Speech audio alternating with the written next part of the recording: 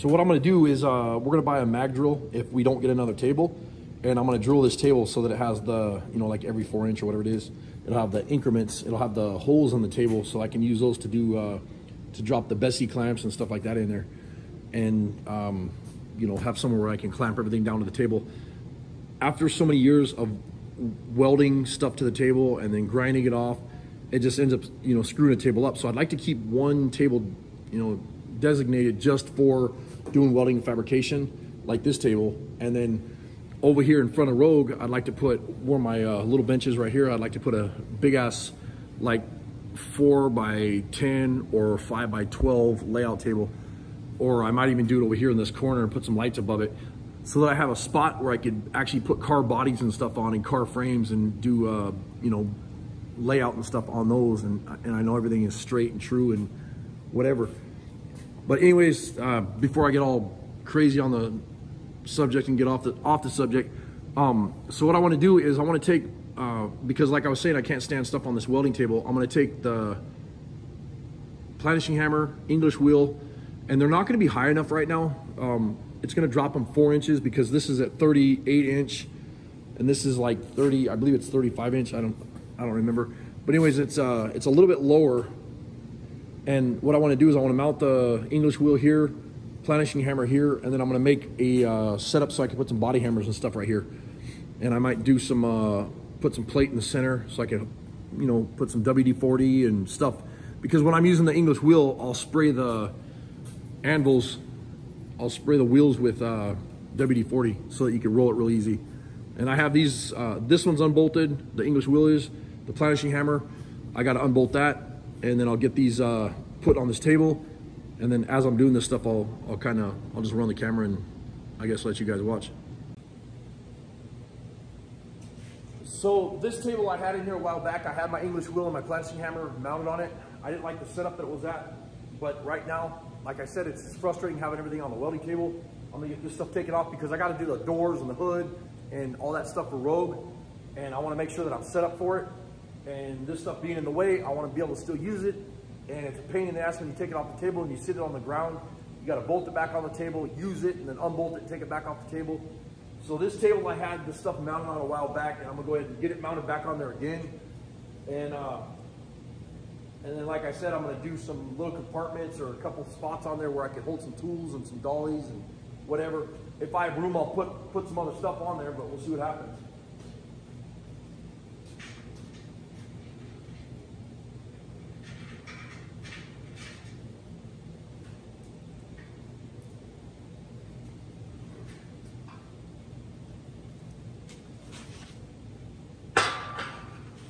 Thing is heavy.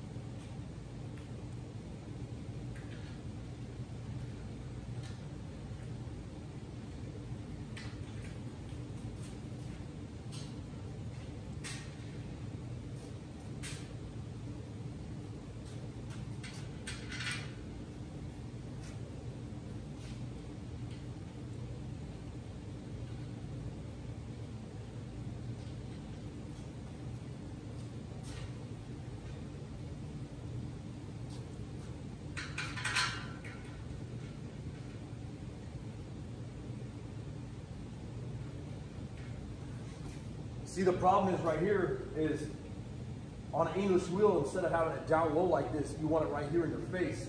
That's why I had it up so high. It's, right here is like perfect where it was. That way you can watch the, the metal shape. This is a little low, but if I have to, I'll put some extenders or some a little bit longer legs or wheels or something on this table and lift it up a little bit. So this is kind of a temporary deal right here.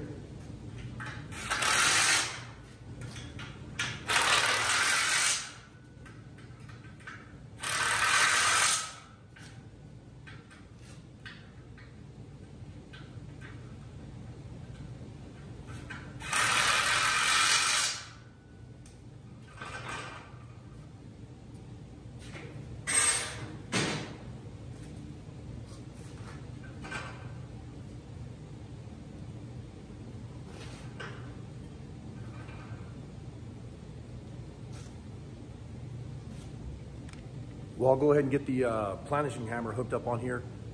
And if I do any welding or whatever, I'll, I'll turn the camera back on.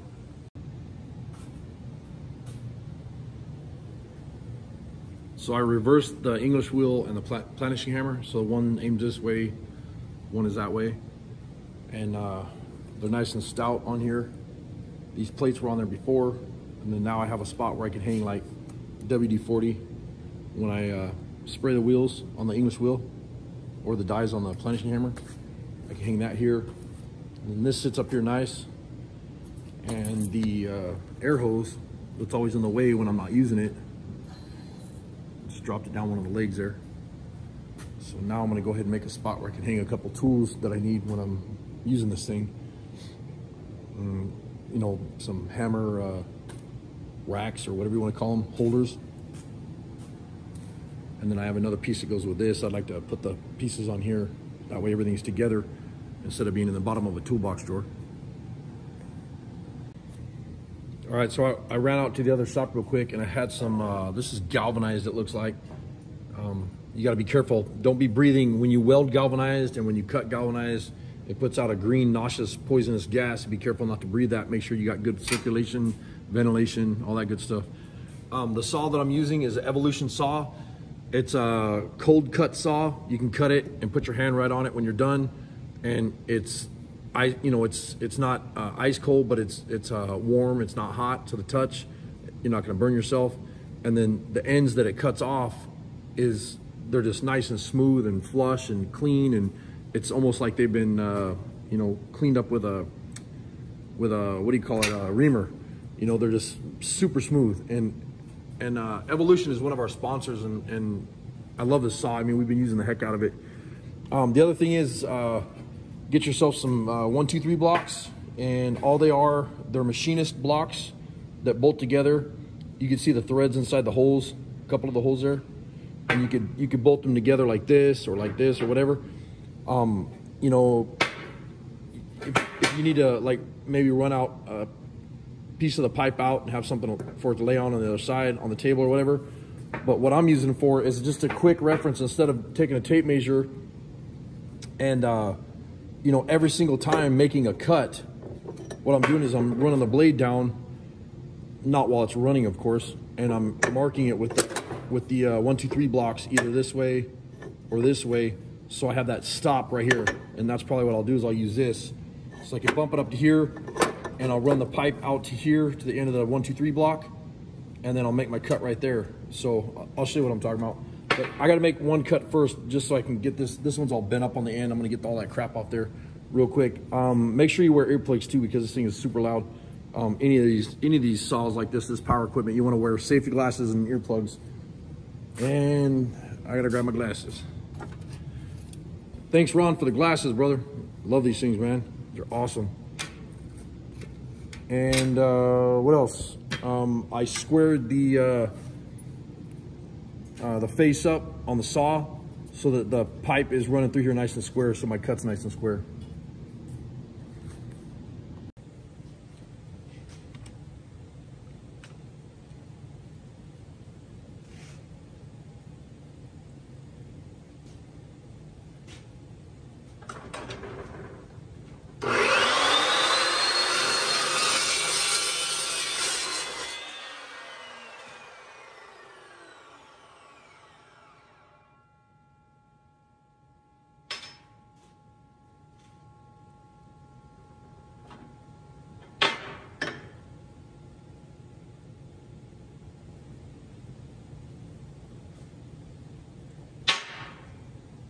Makes it real fast when you take the one, two, three block, stick it up here, bump this, you got your two inches.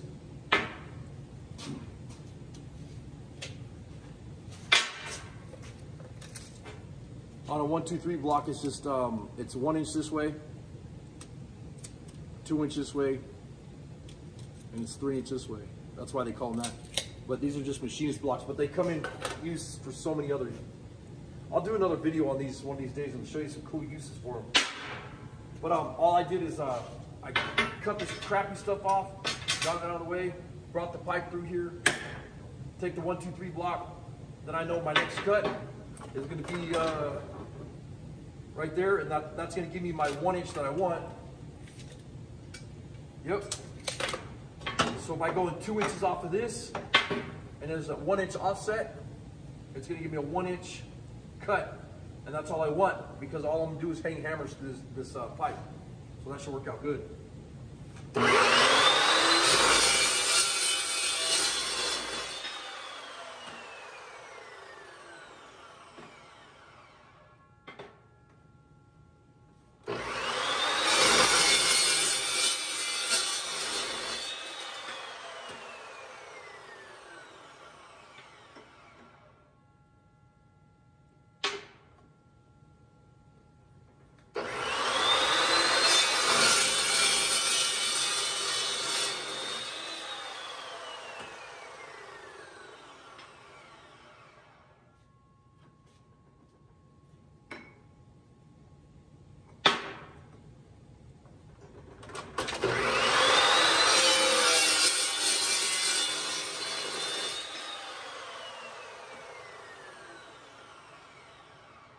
I'll go ahead and get the rest of these cut.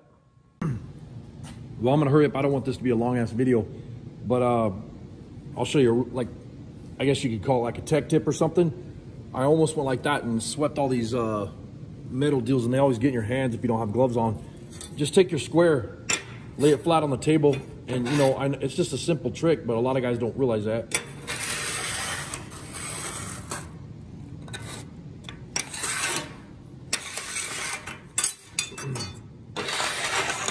You use your, you know, use that side or that side, whatever. But anyways, uh, I got these all cleaned up. I took a die grinder and cleaned up the outside of it. Not gonna worry about the inside. And uh, you know, that saw cuts so nice that you can almost just weld them together and go. But this is what I'm going for right here. just line these up and weld them together.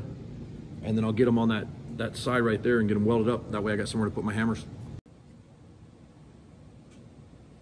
Well, some of that crap, I don't know what's going on with my camera, but I hit record and it didn't record it, so whatever. Now it's starting.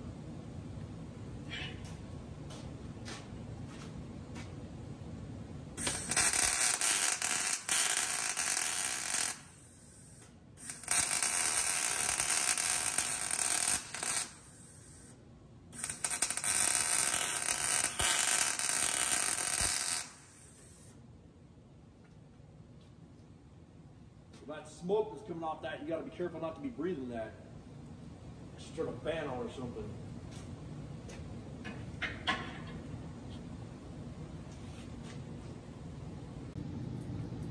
All right, so I blew some of this air out of here, and then uh, that way I don't have, I'm not smelling that stuff. and then uh, I got this welded on there real quick, and this will be nice because uh, now I have somewhere to hang the extra body hammers.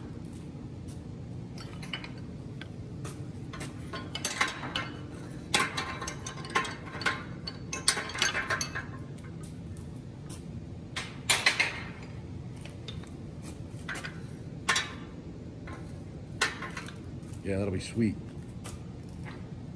You know, and you know, a lot of times, like when I'm using my English wheel or I have my beater bag next to me or something, I have to walk across the shop to grab a hammer. And it's nice when you just reach over and grab a hammer that you need. And it's right here. That'll work out pretty cool. And like I said, I'm gonna do some extensions or something on here, or maybe I'll add something here to, to raise those up a little bit because they need to be about four or five inches higher. I was noticing too that my uh, hose, I've had this thing for so many years, my hose is starting to go bad. So I need to get a hose put on that before it blows up in my face. But uh, I'm sure there was gonna be some other stuff that I'll do this, but for now I'm gonna call that a night. It's starting to get dark outside. Lots of snow, had to plow all day, wiped out, shoveled, and oh, long day. But anyways, it's like five o'clock or something like that. So I'll go ahead and split out here. You guys have a good night. Thanks for watching, and please don't forget to subscribe. Later.